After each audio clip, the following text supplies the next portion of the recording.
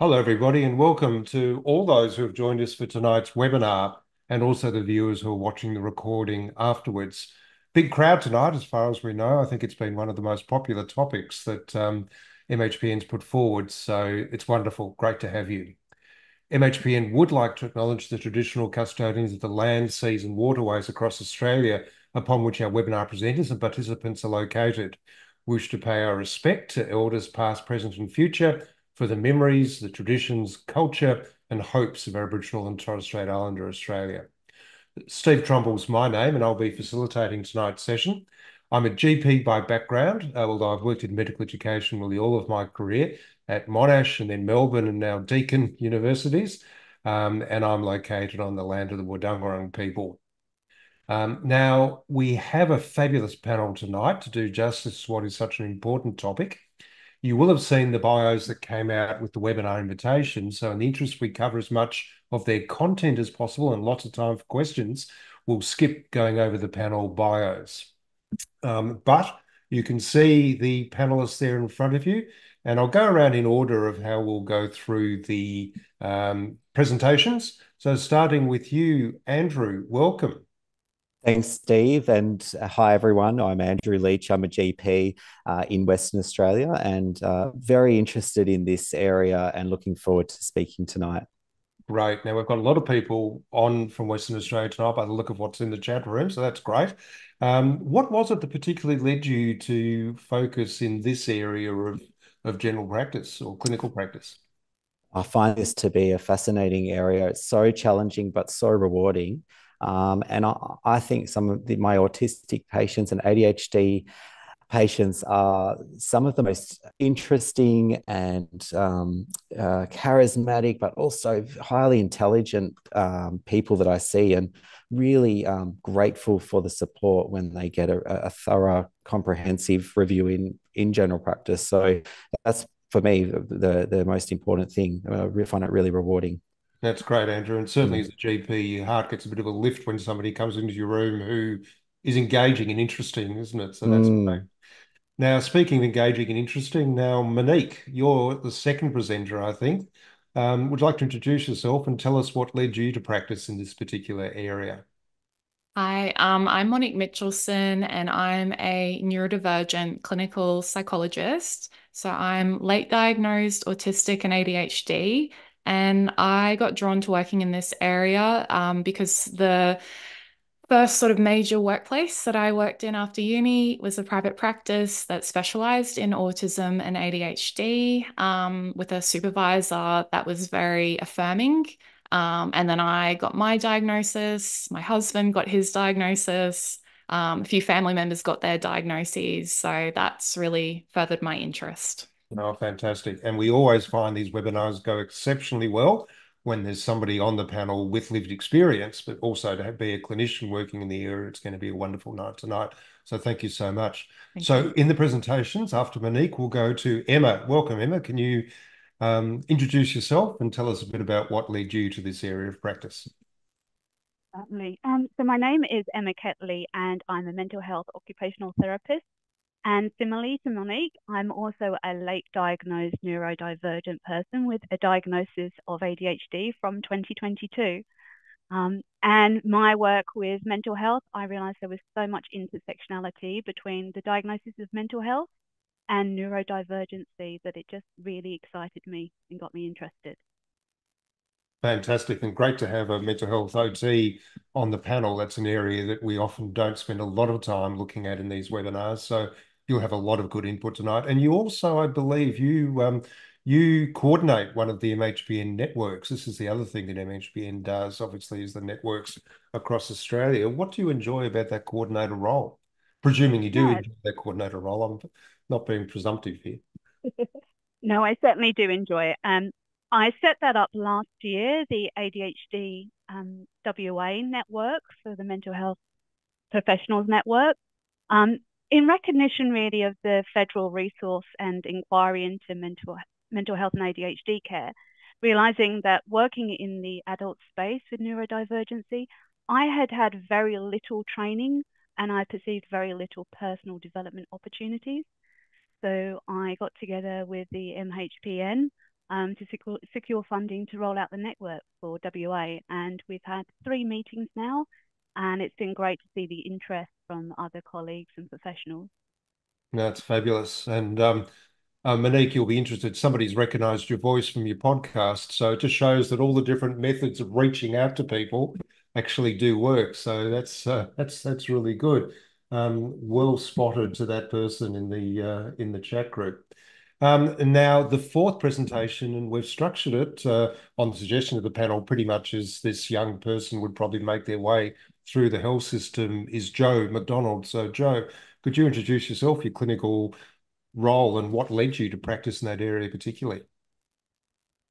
Yeah, hi. I'm a neuropsychiatrist uh, from Newcastle, New South Wales. Um, started my training in neuropsychiatry clinics and spent a, a, fair proportion of my training time there and found the, the work very rewarding and really like the um, the uh, opportunities both for collaboration but also the neuroscience aspect. So that's what what drew me to this field. Great, fantastic, and wonderful to have such a great panel. We've got lots to talk about, and I won't read through the learning outcomes. Uh, next slide, please. I think because you've you've you've seen all those, um, but we'll go. Oh, and also just to mention slide uh, relating to the fact that this, the content of this webinar, and I've lost track of where we are with the slides, the content of this webinar is for educational purposes only and is not clinical advice. We're here to learn from each other, not to treat each other or to offer clinical advice. And if there's anything in the webinar that causes you distress, it's absolutely understandable. Please do seek out care from your own GP, your local mental health service or practitioner, or contact Lifeline on 131114. So let's rip into the presentations now, and we'll start with Andrew. Andrew, have 10 seconds. Thanks, no, Steve. And you've got, you've I, got time.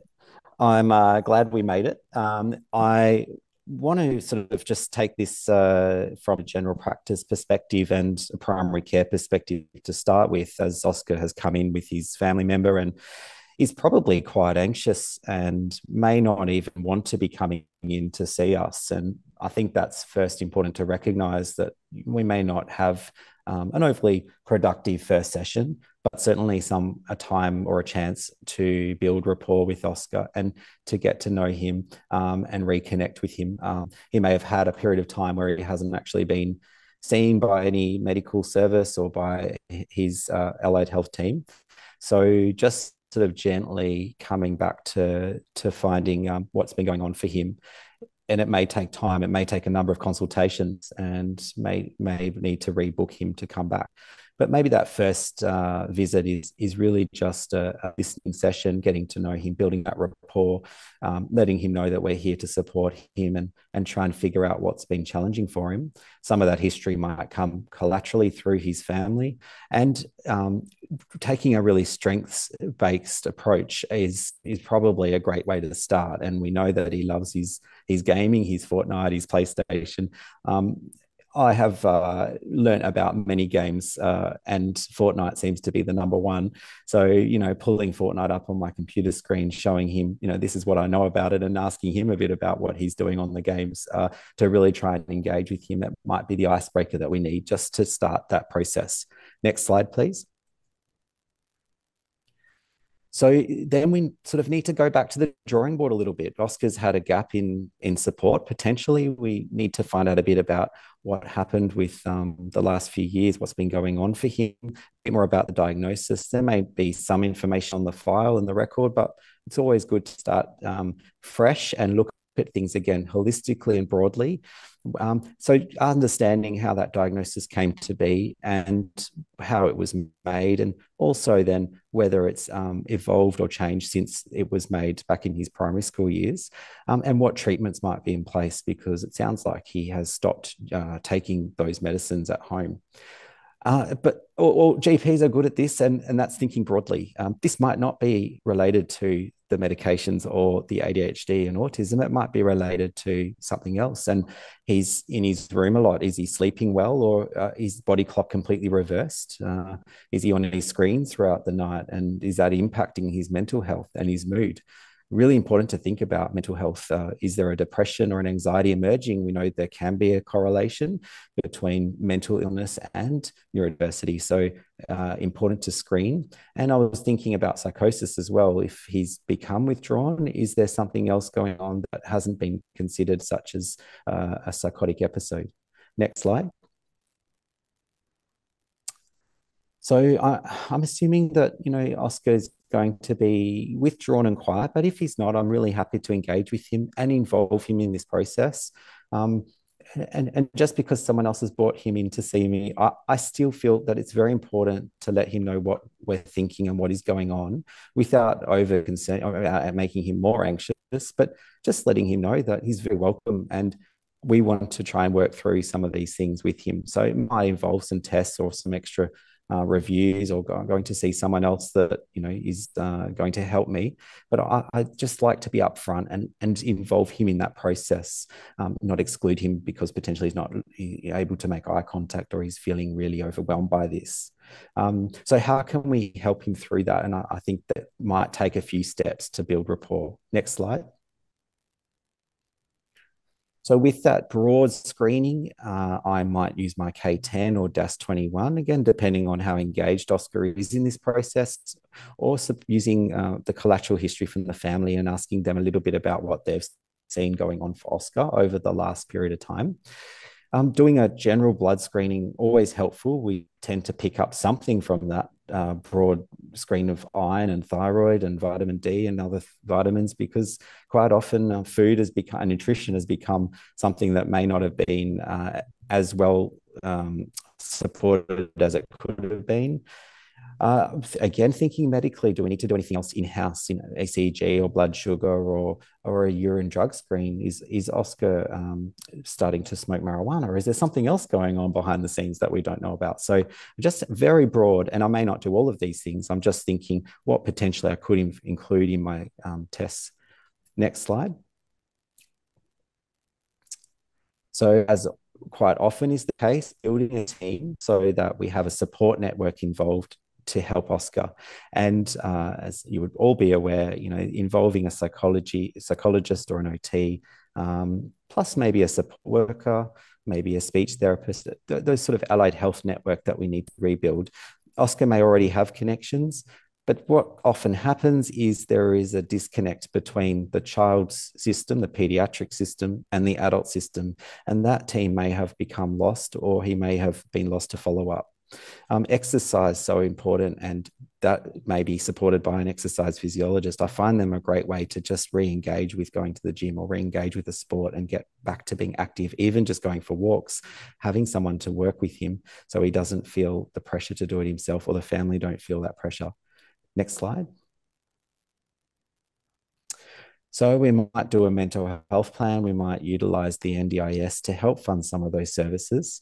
Um, and down the track, I'll look again at that medication. If it is something that's become a problem because he's, he stopped taking it, do we need to actually put that responsibility back to someone else for now so that he is reminded to take it? Or is it simply just a matter of he's forgetting and he's not noticing the medication needs to be taken? We need to develop a system for him. Um, some of those good tools we have in GP, such as a care plan or a health assessment, might be able to also help us to gauge the goals for Oscar moving forward so that we can get to where he wants to be and where he wants to reach uh, over the next period of time. And then getting back to his sleep, is, does he need some melatonin or does he need an antidepressant to help with his anxiety and what's going on for him with his mental health? Thank you. Right. Thanks so much, Andrew. Um, and I should just jump in and remind people, I didn't say in the introduction, that if you want to ask a question of the panel, please do use the Ask a Question button, which is down the bottom. If you move your mouse and it, or if you're on a mobile, you've got to use your finger, I think, obviously. Um, down the bottom right-hand corner of the screen, the it should become active, and there should be the three little dots down the bottom there. And if you click on the three little dots, it'll give you where is it? Ask a question. If you click on that, then you can post a question and we'll try and pull all those together to ask the panel uh, towards the end. So bottom right-hand corner, hover over the dots there and uh, you should be able to ask a question. So thank you so much. Now, um, our um, the young man, um, Oscar has found his way to uh, Monique now. So we'll hear from you. Thanks, Monique. Sure. Um, so when Oscar presents to the psychologist clinic, um, it may have been possibly like the first contact that he's had in terms of therapy.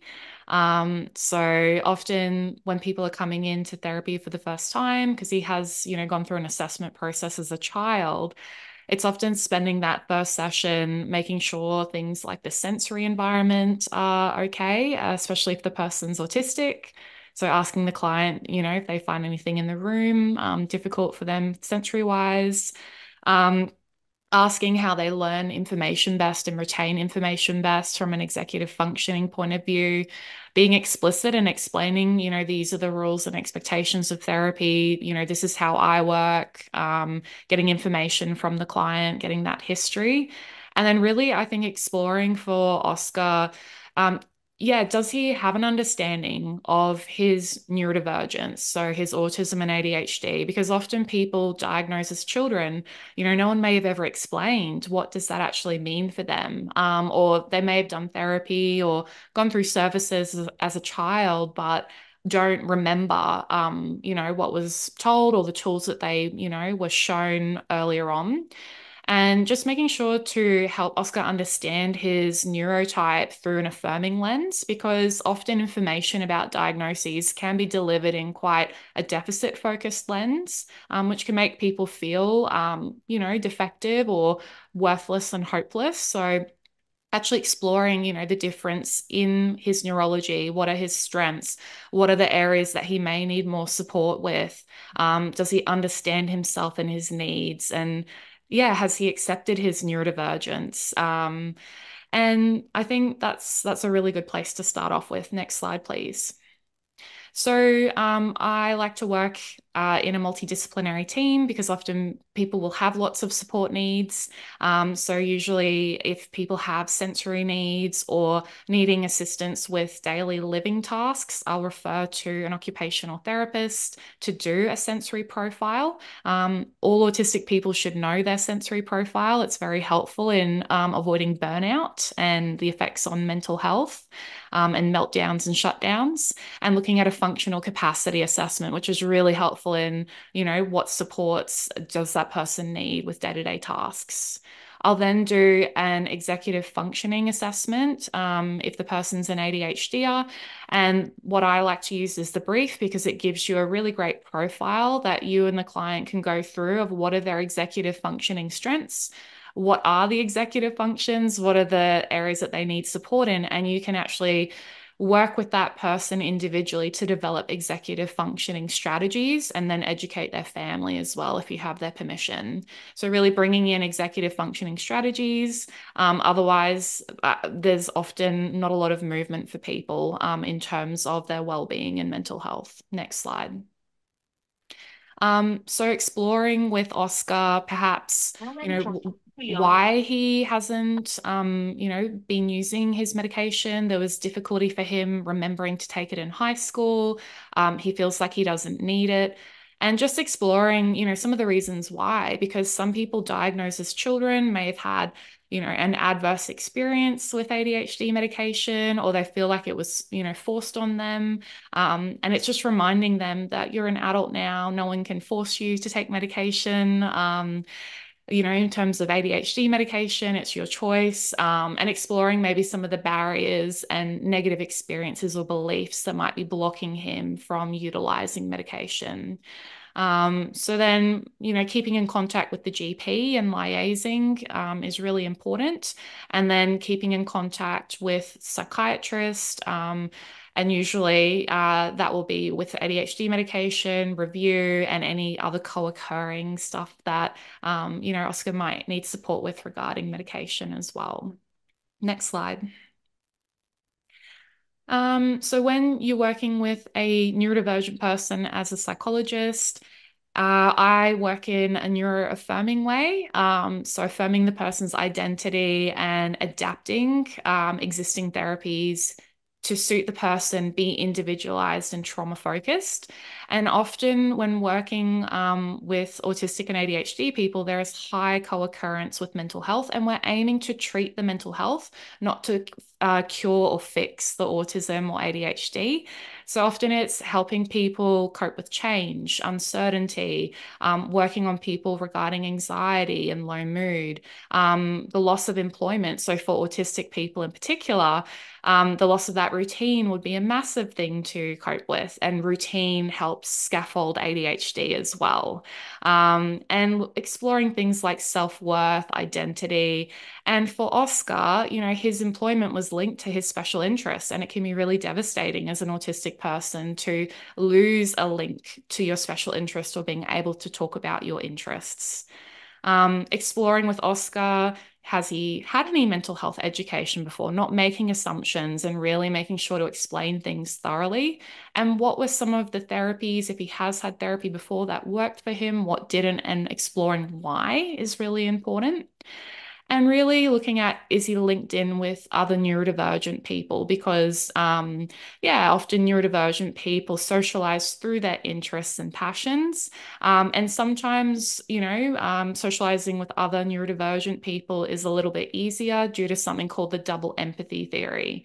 Um, so i'd look at connecting him with the neurodivergent community um, who can validate some of his experiences and provide some support. Next slide um, also looking at linking him in with disability employment services in terms of job seeking. Um, and I think just recognizing that often um, autism and ADHD, the rhetoric has been that it's something that is, you know, diagnosed in childhood and we really aim to, I guess, bring in support so that the person no longer needs support as an adult. And often that's actually not the case. So both autism and ADHD are neurodevelopmental.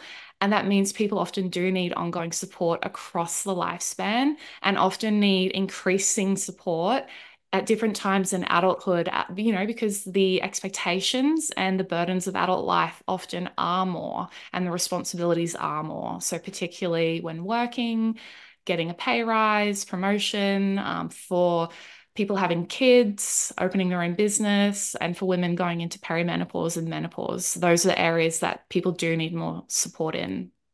Um, that's it for me. Right.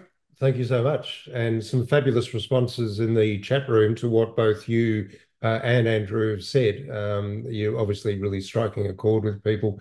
Um, I should also just quickly say to apologize to people. We can't use the closed captions. They're just not reliable with the technical uh, content. They've got to be proofed before they go out, but they will be on the recording. I know that's not ideal for people who prefer the captions, but they will be there on the recording, and the recording will be coming uh, in due course. And also a final ad for the questions. If you want to ask those, you've got to move your mouse down the bottom right-hand corner, hover over those dots, and the ask a question thing will pop up. A few people have found it already, um, mainly to um, tell me that their screen's frozen, in which case you refresh. Um, wouldn't it be nice if life was like that? But thank you both uh, to Andrew and to Monique, and Monique for just giving us her views then. We'll now move to Emma. And Emma, there's already been a question about the OTs in this field and the um, the sensory assessments and whether they need to be referred um, to the OT or whether you can do those off your own bat. But I'll let you give your presentation first. Okay, all right, and I'll answer that question perhaps afterwards. So, meeting Oscar now, we've met him at, as, as a 22 year old. He's presented with his parents reporting some behaviours of concern. They're concerned about his sleep cycle, they're perhaps concerned that they feel that he's gaming a bit too much. Um, he has no formal support, but he does live with his family. And all of these behaviours of concern have come about in the transition of him moving from his place of employment at the hardware store, which, as we said, has scaffolding some of his his executive functioning, perhaps has provided him with a regular routine, and he's now transitioned somewhat unexpectedly to being made redundant. We know previously when he had a transition around the age of the end of high school that he had become so dysregulated with that transition and the loss of support that he'd actually engaged in self harm, biting himself to the point of significant injury. This is again another crucial time. And as an OT, I'm going to be working with him with curiosity, being affirming as to respecting his sense of agency as an adult to help him engage in meaningful activities around what he needs to do, what he wants to do, and what he feels he's expected to do. The next slide, please. There's going to be a number of considerations um, outside of what we would consider neuronormative in working with someone with ADHD and autistic. And as a person of lived experience, I also kind of understand this. So we might expect him to blurt info dump when we're talking. That's not Oscar being rude. That's actually Oscar being very, very engaged with us. So it's a compliment, not a criticism. Um, there might be some sensory sensory perceptual differences, which is why Monique has mentioned the sensory profile. And I also want to point out that even though we're going into his home environment or meeting him wherever he chooses, we're actually an additional demand because we're actually introducing him to someone he's not familiar with. And so our prime aspect, our prime priority should be about making him feel relationally safe. So you can't see it right now, but I've, my favorite jumper is a dinosaur jumper, and I love dinosaur fidgets. So I will actually probably have some of those because that's his special interest and that's how we can form connections. Next slide, please. So as I said, Oscar's work was a fantastic scaffold. Whenever there had been a transition and a loss of support from outside of that environment or within that environment, whenever there's been a transition, it's actually increased demand. So Oscar's work, volitionally, he was engaged, he had values, he felt purpose, he was volitionally engaged, so that got a thumbs up. Habitually, it met the need of having somewhere safe, secure, regular, and routine. And it was well within his performance skills. He was able to do the job easily. And actually, he enjoyed doing things like the technical components. And we know he did that well because of his manager's feedback. So I will always be highlighting those strengths and skills are still there, but because it's a dynamic disability, there's going to always be an interplay with the environment. But as a summary point, his work was an enabling environment. It enabled him to have a sense of professional identity and it provided scaffolding. Right now, we have unexpected redundancy, which is hard for anyone. And for Oscar, we all behavior is communication. So volitionally, by engaging in the gaming, he's telling us what activities he feels connected to that make him feel safe and that he's interested in. And that's something to respect because that's his communication. He is experiencing a loss of habituation. He's lost his work role and that structure. And his performance skills, he's not, it may look de- like decompensation, but again, it's because transactionally within that environment, he actually might not have the opportunities to function independently depending on the family's level of creating those opportunities for him. So my question with curiosity is to really explore with him how does he feel that current environments support or limit what his goals, dreams, and aspirations are? Again, respecting his sense of agency. Next slide, please. There is a big stop sign. Again, I qualified back in 2020, 2002, sorry. Um, and perhaps some of the features of what we're looking at look like depression. He's he's talking about feeling worthless, having no purpose, and he looks like he's socially withdrawing. We want to consider though his brain type because it might not be depression, it might be autistic burnout, and maybe it's both. But with his behavior helping communicate, he's actually telling us what he needs, what he's seeking to feel safe and secure. So our job is to collaborate and partner with him, recon recognizing where he's at and make him feel relationally safe within our engagement with him and to take smaller steps, recognizing that day to day, each visit, he might have a preferred time, he might have, he might want to have engaged in certain activities, and we will do that at his pace, step by step. Next slide, please. Next slide, please. Okay. The importance of kind of really determining whether it's autism, burnout, or depression is that obviously he's at high risk if we dive straight into capacity building as occupational therapists. If we look at unloading too many assessments all, all at once or having raised neuromajorative or neuronormative ideas around treating depression. So we're going to really work with him around understanding what these behaviors of concern are actually functionally doing for him, what what needs and wants they're actually meeting for him. We're going to look and reflect back his current strengths and enabling environment. And I will be doing this through having interviews with him um, and his family, also administering the HUDA, looking at the sensory profile so we can look at where the, the triggers are and the glimmers, those little moments of enjoyment. And also executive functioning, we can meet all of those um, questions we might have executive functioning by seeing him engage in activities.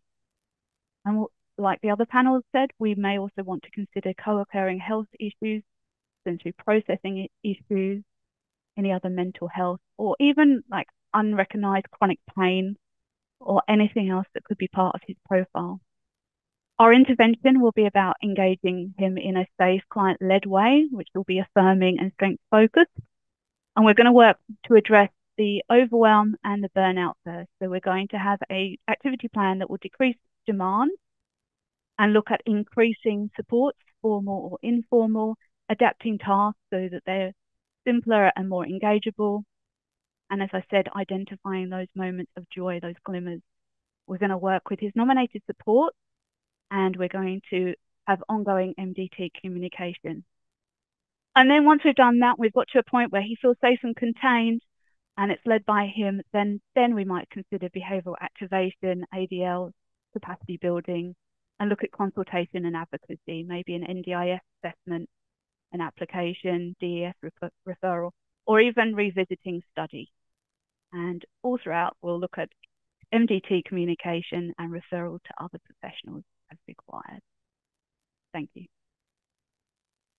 Thanks, Emma. And you've anticipated a question in the chat about the glimmer, and you've explained it's those little glimpses of lightness and enjoyment. So that's great. Thanks for getting ahead of the game on that. Speaking ahead of the game, I should just give people a bit of a warning. We probably will go about five minutes over to make up with the for the five minutes we lost when fiddling around with the technical side. Um, so if people can delay their dinner or bedtime or whatever it is, um, uh, please hang out for that extra five minutes or so towards the end. And now, um, Joe, uh, Oscar's found his way to you as a psychiatrist, or can you um, tell us your approach, please? Yeah, uh, thanks, Steve. I'll try and um, move through this um, relatively quickly so that I can leave some um, time for questions. But essentially, I'll start off um, looking at um, a bit of an overview as to um, co-occurring autism and, and ADHD, and really to say that the diagnosis of both uh, autism spectrum disorder and ADHD was really only permitted by the DSM 5, um, which was released in 2013. And so, as opposed to ADHD and, and autism alone, there really is limited literature in regards to this population with the combined presentation. But nevertheless, uh, based on the evidence and uh, what we see in clinical practice, is that it, it is relatively common. So the estimated prevalence of ADHD and autism is approximately 38%. And the, the possible explanations for this relationship are, are, quite complex. Uh, next slide, please. So just um, for my approach, looking at the case study, these are my first impressions and the issues uh, as I would see them. So we can see that there are difficulties in occupational and interpersonal um, functioning, which are more acute recently. We also have a history of difficulties with emotion regulation, uh, particularly in that year 11 period in which there were sensory sensitivities also, which culminated to self harm. And so that's something that I would want to address in my assessment. We have quite a sudden decline in mental state following a termination of employment. And so that'll be an area of inquiry. And we can still see that um, Oscar uh, does use his parents to assist with occupational functioning. But uh, based on the vignette, we presume that there are really limited social supports outside of, of the family. Uh, next slide, please. So when thinking about um, the assessment, I'd be first looking at the approach. So the first uh, point I think is who are we going to get information from? And so that might include family, and I'd ask Oscar if there's anyone else who would be important to get information from. But we want to also be careful uh, not to infantilize uh, Oscar. And so it's important to respect confidentiality and to work collaboratively. Um, an appointment of this nature may need to be longer than what is generally used for an initial assessment.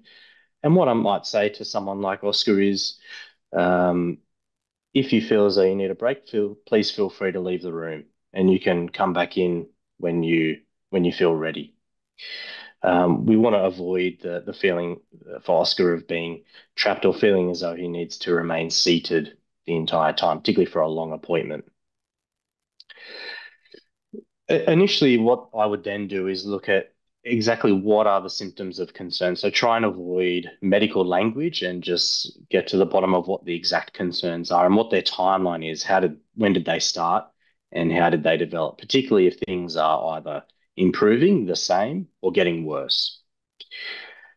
And throughout the assessment, what I would be doing is screening for potential comorbidities. And so when someone usually says me, and this might be, for example, six or eight months after the initial decline, I would be thinking, well, why isn't Oscar getting better?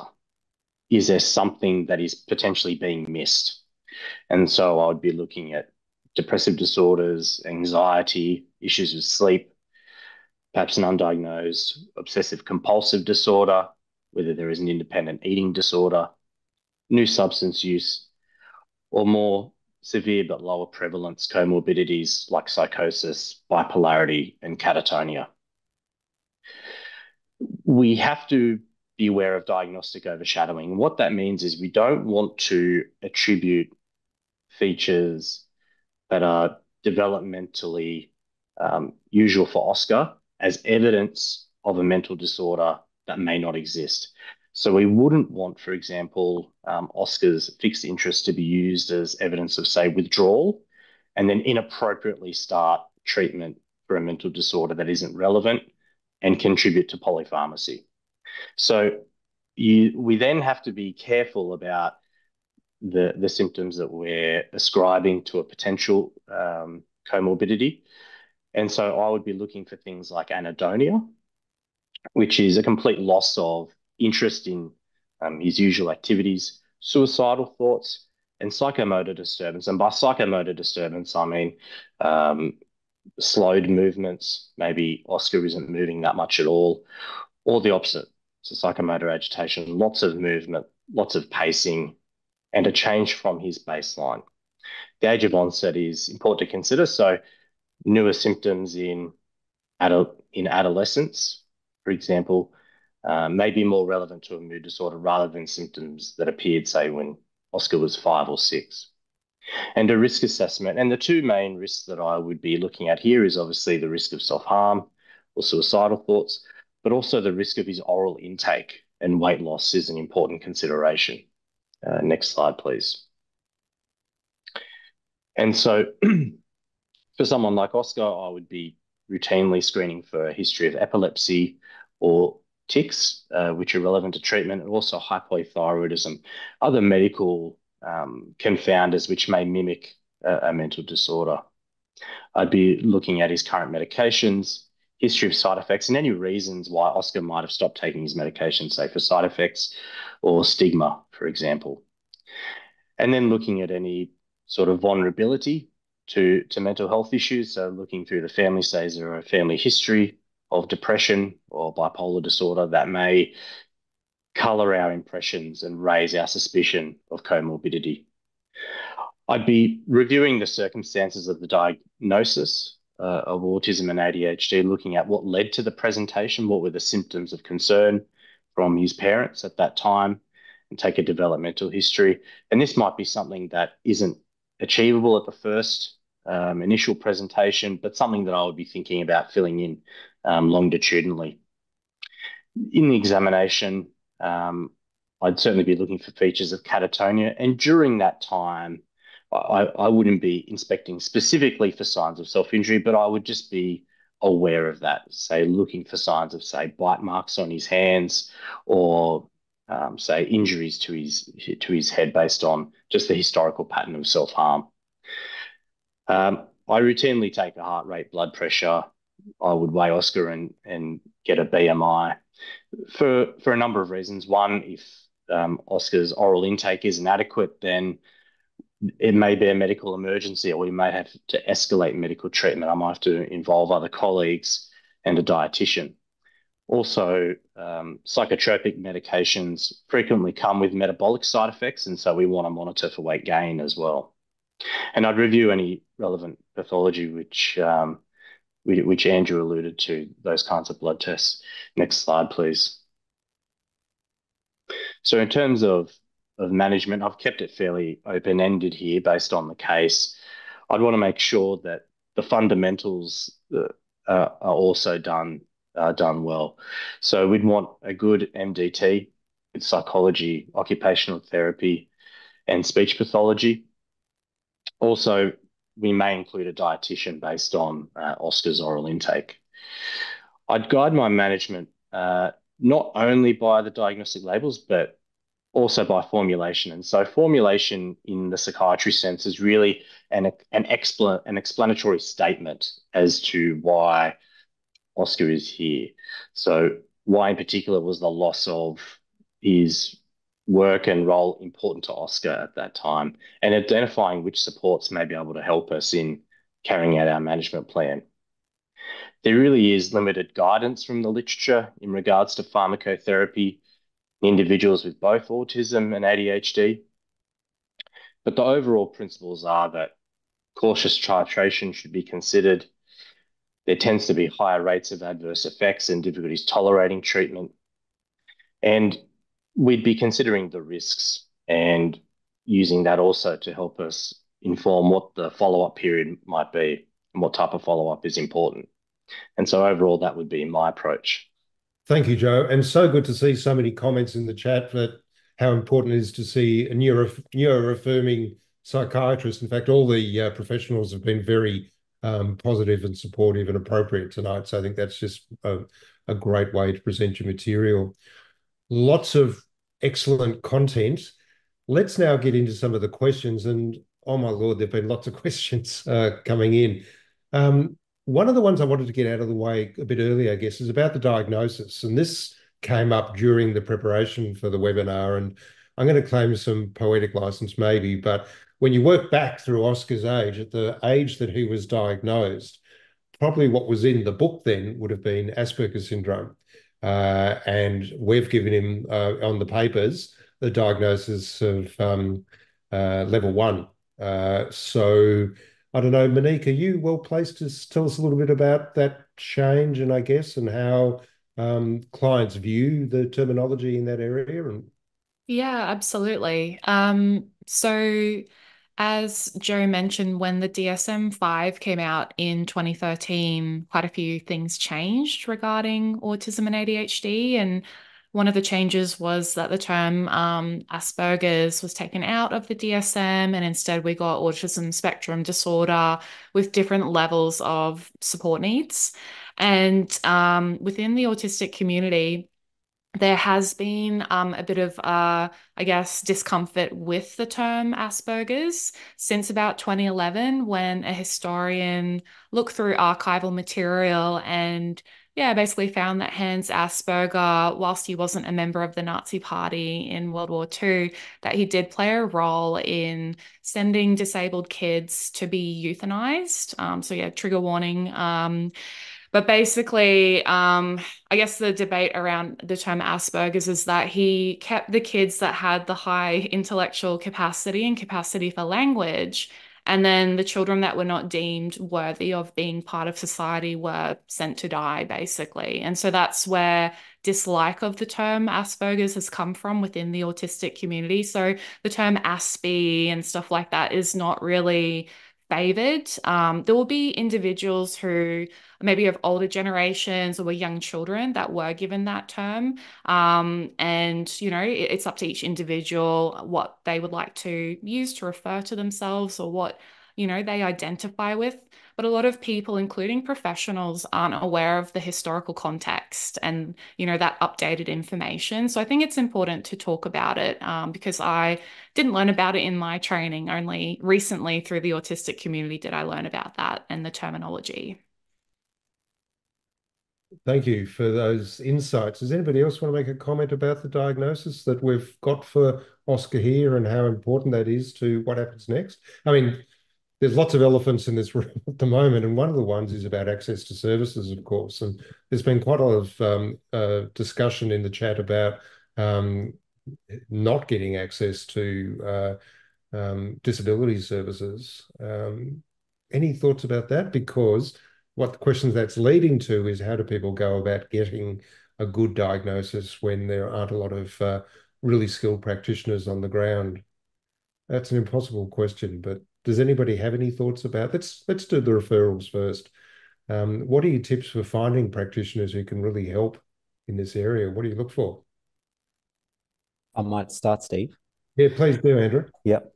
Uh, this is a really challenging area, and I know it's occurring across Australia. and in Western Australia here, we're having a lot of um, challenges in accessing services. Uh, it's it's challenging because um, patients uh, not only have to, or they not only have to spend more money to access uh, help, they have to do a lot more work in trying to find that help and find a team that they connect with and build that team. So it might take months to years to find the right people. Um, and that is not only just with diagnosis, um, but also with therapy and treatment. And there's a huge demand for services. So I think in in terms of what that means for for us in primary care is we spend a lot more time holding on to patients, spending more time thinking a bit more broadly and doing a little bit more work with them and maybe reviewing them more regularly. I try to get them back uh, once every quarter for a long appointment just to do those check ins and make sure they're on the right track, even if we don't have the right team ready to go. Um, and, and, that then it provides opportunity to do more investigations if needed or, or think about other things that we, can do in the that meantime. So certainly have to think on the on the go with that. And I've learned a lot about uh, this area on, on how to um, fill those gaps and voids, and also get to know who is in your area, who are the people that you that you trust, and often those referrals get more triaged uh, if they do trust. So you're a bit of a unicorn there, Andrew. You're an unusual GP. What about others? Are there other practitioners in your pantheon who you might call upon? I'm thinking of everybody from mental health social workers, speech pathologists. I mean, there must be others you can draw upon who could help um, in these. Yes. Yes, I think in, in this area you start to get to know people really well, and you and then start to have you know even case conferences and and things like that. You start to really um, have a, a, little network, and and not uh, uncommon for me to send a text message to someone saying, "Would you please mind you know helping out with this person, or can would you be open to accepting this referral?" So it sort of helps with the the process and the journey for the patient, but it's not it's not always that straightforward. But in your area, you tend to get to know that network and those and those allied health professionals, and even have some of them in house in the clinic, which has been great. Right. What about the others? Can I jump in? Yeah, Emma, do you yeah. have an entourage or a crew? I'm getting side-eyed um, there, but I, you, yeah, I certainly do. Right, tell us um, about.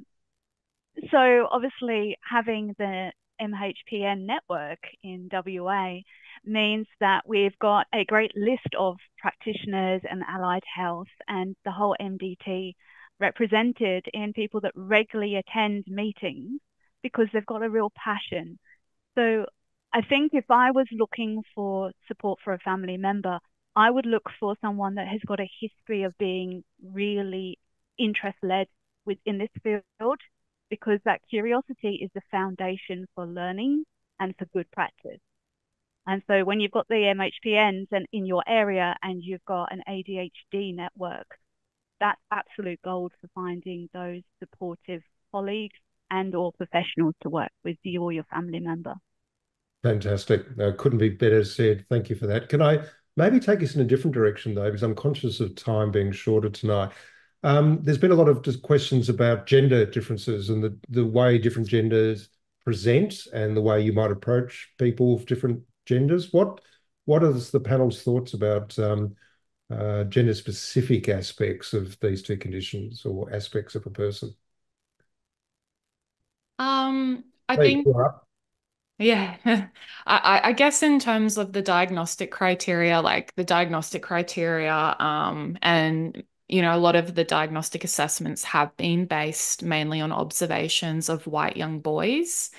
So if you're anyone who's not a white young boy, um, you know, there are going to be biases in terms of some of the diagnostic criteria, um, what we were taught as clinicians as well, um, and how we interpret, um, you know, data and and things like the ADOS, um, particularly for autism in adults and in women.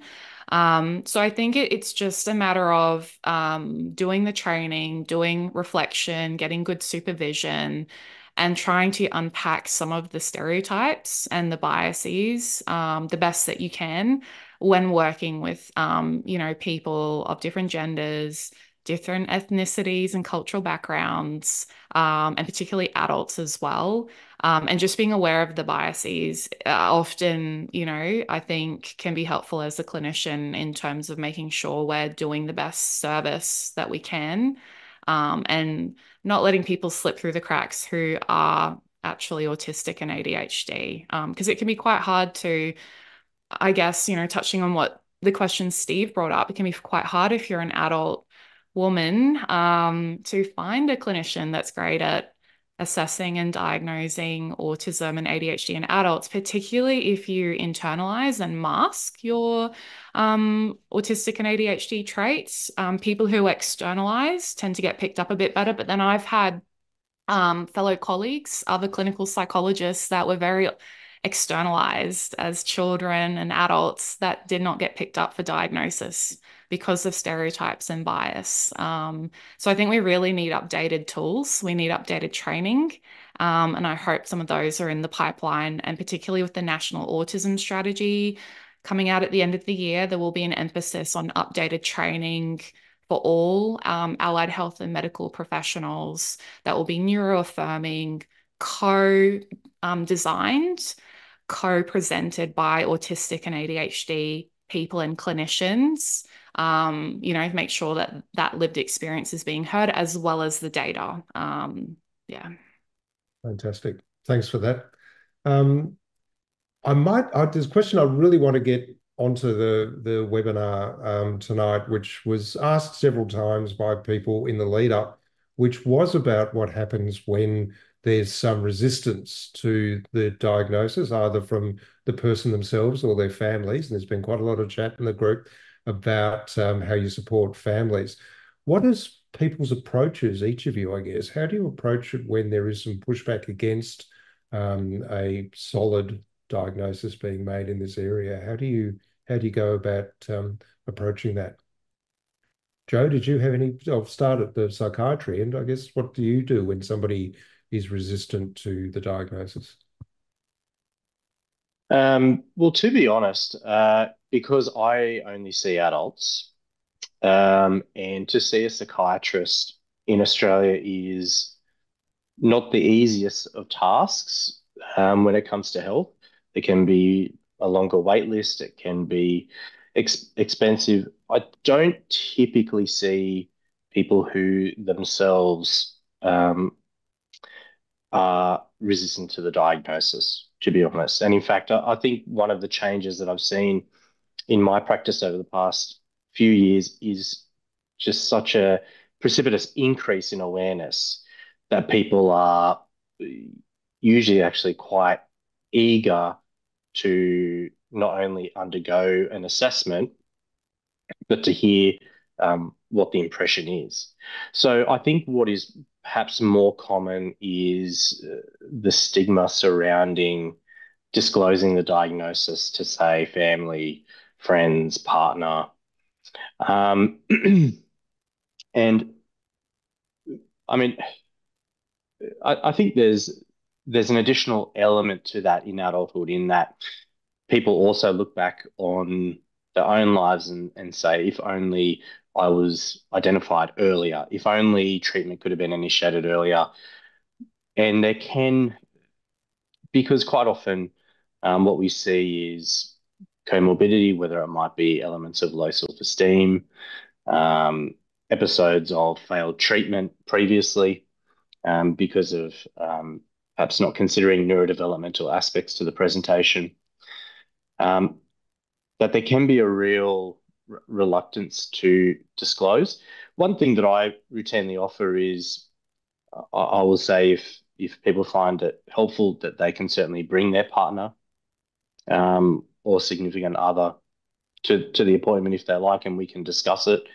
Um, I think it's something that's very individual. It's going to depend on the um, relationship. And what I will say is there's no onus on them to disclose anything if they do not wish to do so. Um, and so that's my experience really treating treating adults. Great, thanks for that. And I'm curious from the others um, who are probably seeing people a bit earlier in the piece, Emma or Monique or Andrew, what? How do you um, approach? Steve, uh, it's quite interesting because I see a lot of children uh, undergoing a diagnosis and the parents saying, uh, I also feel that, you know, I have autism or I have ADHD. And I think a lot of adults now or, or the, the um, adolescents even are recognizing their own journey with this and potentially that they would meet the criteria or have a diagnosis. Not all of them are going on to get a diagnosis. So I think even just knowing that this is part of them and if they wish to get a diagnosis you know that's something that might help them to then further understand themselves um, quite the opposite again uh, is is that you know there is little actually not as much resistance as as I would have thought and, and people are very open and accepting to this. In fact frustrated if they don't get the sort of the answers that they were seeking. Um, so a little bit of the opposite at the moment. Um, but if someone is not keen on a diagnosis I absolutely would support that and and and continue to work with them on whatever they would help them to um, to get to uh, understanding themselves better. Yeah, great, thank you. And Emma, somebody's asked the question. Katrina's asked the question: Can an OT make the diagnosis? Is this something that you do as part of your practice? No, so we don't actually make the diagnosis, but we can provide a lot of supporting collateral evidence for the symptomology and working within MDT, we can then obviously work with a psychiatrist or a clinical psychologist that can be informed by some of that behavior. Because they, what is the great thing about OT is that we can meet people where they're at in terms of going to different environments. So if you've got someone that is high masking, you know, particularly we've talked about a bias perhaps with women being able to mask, I will actually be able to see them in their familiar environment where they feel safe and engaged in their special interests. So I'll actually be able to see another aspect of someone's presentation. Coming back to that diagnosis question, it is interesting. There is a lot of ambiguous loss. I work with adults. I'm an OT that works with adults, particularly around the emotional piece with ADHD and autism and sensory. And there is a lot of ambiguous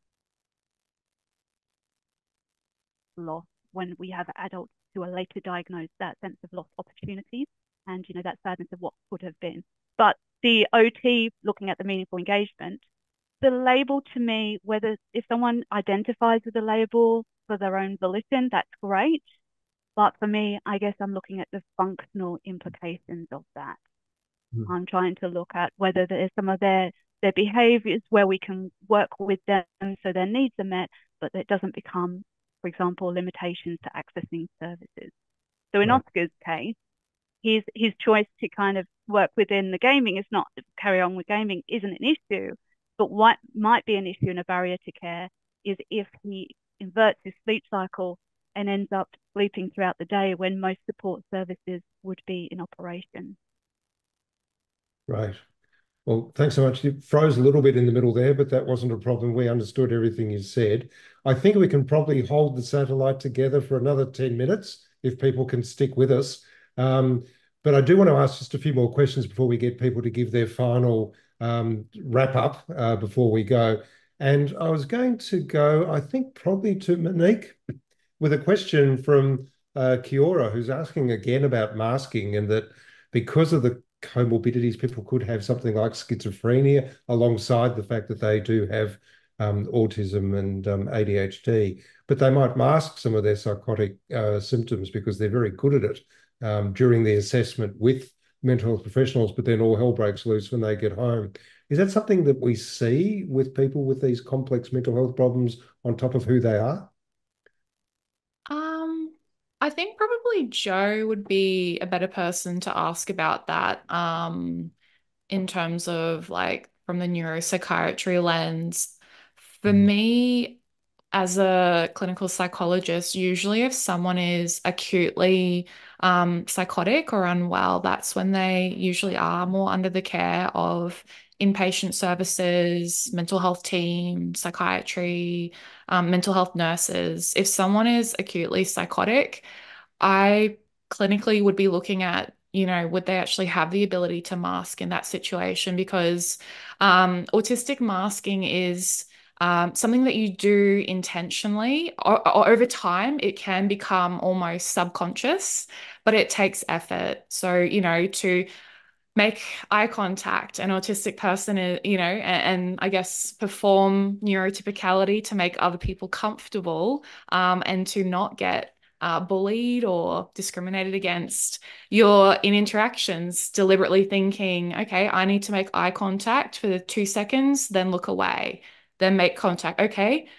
Um, you know, make sure you don't have a flat facial expression on. Make sure you're modulating your tone of voice. Am I making enough gestures, but not too many? Am I saying the right thing at the right time so I don't offend people? Like, there's lots of layers of thought, action, energy, and effort going into masking. Hence why it can be quite exhausting and lead to autistic burnout. So, if someone's acutely psychotic, I would be clinically looking at would they have the capacity to do that while psychotic? Does that resonate with you, Joe? Have you had this experience in your practice of somebody with that constellation? Yeah, and it is, uh, it, it can be quite a complex process at arriving at an accurate diagnosis. Um, and the, the age that Oscar's at, this age, is really when we start to see um, quite complex psychiatric comorbidity emerge. So this would be the at-risk period for, say, something like schizophrenia to emerge. And the, the difficulty with schizophrenia in autism, and I'll just put the ADHD aside for a moment, is that its onset is usually insidious. So it's gradual and it's slow. The initial presentation wouldn't necessarily be an immediate acute psychotic episode. So we might see a prodrome, which is coming before the onset of psychotic symptoms of anxiety and depression. There's probably been a treatment with different psychotropic medications. We would then see usually the negative, what we call the negative features of schizophrenia. So difficulties with further difficulties with executive functioning and apathy. And you can see the difficulty in trying to tease that apart in certain aspects of autism. And then we might start to see the onset of psychotic symptoms. But even then, with the onset of psychotic symptoms, sometimes it can be very difficult to arrive at a diagnosis because, particularly in more, say, severe forms of autism, there might be unique aspects of speech that might confound an assessment for delusions or thought disorder. Or there might be um, styles of speech or interests that make it very difficult to try and decide if there's been a change in mental state. So really the importance again is going back to, to getting that developmental history, trying to find a baseline and how the person has departed from that baseline. When you add in the ADHD, it becomes more complex because um, the first line treatment for ADHD is usually stimulants. Stimulants will worsen psychosis. So then if we go to treat psychosis, say in the context of schizophrenia, and are required to withdraw the stimulants, then we might see more externalizing behaviors or dysregulation. And so it's quite a complex issue. Um, I'm not sure if that necessarily answers the the question of masking. It might be more about the complexities, say, yeah. or the team trying to arrive at a diagnosis. I think it, it, it can be very complex. Sometimes it, it is not, but I've certainly had cases where it is a very complex process. That's been a feature of all the questions that have been coming in about people with trauma, people with um, um, gender identity issues, people with a whole lot of other things that are impacting on their or who they are. Uh, and it's becoming um, very difficult to tease these apart. We are going to have to bring it to a conclusion, though, I'm afraid. I'm not sure. Is there anything anybody wanted to say about any of the other questions that we might have had? Um, particularly, there were some questions about uh, supports within schools, I think was something that um, was asked quite frequently beforehand. Uh, that can be problematic. It'll vary from state to state, I guess. I don't know. We can really get into it tonight, but getting some help from uh, the various professionals who can um, try to give strategies for use in schools would have to be the approach, I guess. But I'm sorry, we are going to have to move to the wrap-ups now. So I'm going to ask each of the presenters to give us their final thoughts in just a couple of minutes each, and we'll go through in the order uh, that people presented. So we'll start with you, Andrew. Thanks, Steve. And I think this for for a GP side uh, is that building of that team to create a collaborative network for the patient to wrap ourselves around the patient, providing different inputs from different specialties. And that takes time, as we've explored tonight. It takes time to find the right people, and it, it doesn't always work perfectly. So we have to be patient and offer that our, our, um, our patient uh, regular follow up so that we can um, look after them in between while they might be waiting to get the support that they need. Um, creating a neuro-affirming environment also in, in, a general practice setting. So we, we don't want to be too threatening. We want to be quite empathetic and be really um, uh, sort of uh, strengths-based and, and uh, caring in, in, how we um, speak with um, patients uh, who are autistic. Thanks, Steve. Great. Thank you so much. Monique? Um, I think the the best thing you can do as a psychologist is to go and do some training and personal reflection on um, you know the inherent biases that we all carry as human beings and do some neurodiversity affirming training um, you know that is co-led or led by someone who is um, autistic and ADHD, like has the lived experience. Because ver- from the very start, you know, of the client's experience with you as the professional, you can basically build that neuroaffirming language. And often when a diagnosis is delivered, um, you can really build a positive foundation for that person with their identity from when they're a small child so that you don't have to go and undo, you know, like all of the negative feedback and you know the negative stuff around getting a diagnosis and trying to reduce stigma um, i think is really important. So if you're giving psychoeducation about autism and adhd diagnosis adaptations to therapies in an affirming way um, that's going to yeah really be helpful for the client and I think just considerations that often people do need ongoing supports um, and sometimes one on one supports as well. Like, regardless of the level, level one people do still need support. That's in the DSM. It's not that you need no support.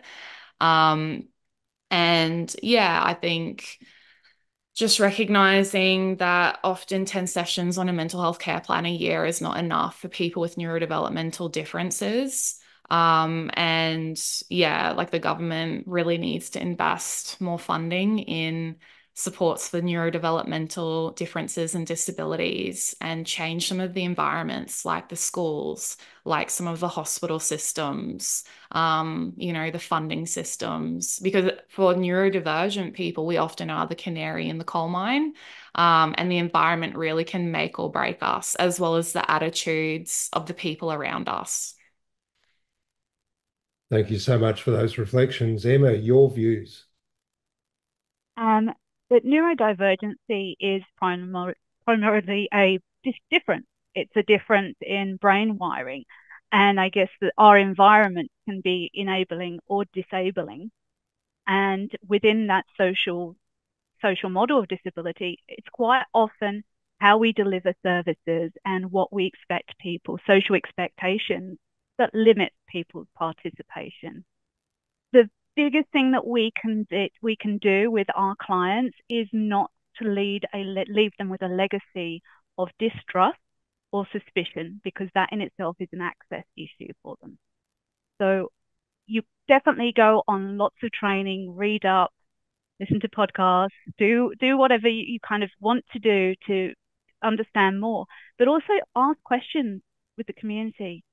The biggest part of my training has been actually spending time with community and getting getting to hear their voice and getting to un- understand it so much clearer. And the biggest thing we can do to be affirming is to use that curiosity. And if we're not sure, just ask. Right. Thank you. Absolutely. And use your networks. And Joe, final words from you. Thanks. Yeah, I'd just like to reiterate, I think it's important to structure the review correctly and I think listen deeply and not to just rely on the labels. I think coming up with a good formulation and a good um, explanatory statement and discussing that with the patient to build a shared understanding, I, I think will is always a good start to treatment. Right. Well, we got there, so thank you all so very much. If people can stay with us, a few more things just to mention now. Uh, the upcoming webinars will have a focus on people with borderline personality disorder. Uh, first of all, multidisciplinary strategies to navigate feelings of rejection and abandonment, hugely important. And that's on Tuesday, the 23rd of July. And then another one looking at the principles of mentalization based therapy in your practice, which is Monday, the 9th of September. Um, the podcast uh, on anger and mental health, a three part series. Um, just search for MHN, MHPN Presents in your preferred podcast app. And while you're there, look for Monique's podcast as well and get into that. Um, you can also uh, join one of the more than 300 networks where mental health practitioners meet to share the richness that you've shared in the chat tonight about where you might find somebody who can help you in these areas. Um, so if you want to find out more about those online or in-person networks, uh, go to the MHPN website and have a look at what's there. So thank you so much for attending tonight. There will be a recording. It will be edited. All that bit in the middle will be cut out, which means I will age 10 years from before and after all that happens. So it'll be fascinating to watch, but it will be nicely edited. There'll be um, uh, proper uh, subtitles, captions that will be um, thoughtfully put together, and uh, that'll come out, uh, and you'll be notified when that's available soon. Please fill out the survey. Um, click on the link down the bottom there for the survey, um, and um, or scan the QR code that's there on the screen at the moment. Um, you will get statements of attendance. You will still get uh, CPD points for tonight because uh, I hope it's been as useful for you as it has been for me. And your statements will be on the MHPN portal in two weeks, which is, and the recordings and the resources will be there in about one week. So before I close, I'd like to thank everybody for your perseverance tonight, but also to acknowledge people with lived experience of the conditions that we discuss on these webinars, and also the carers who have lived with mental illness in the past um, and those who continue to live with mental illness in the present, as well as the conditions that make them who they are. So thank you to everybody for your participation this evening. I wish you a better rest of evening uh, than we've had, but um, it's been a fabulously educational event. So thank you to our panel, and we wish you all good night.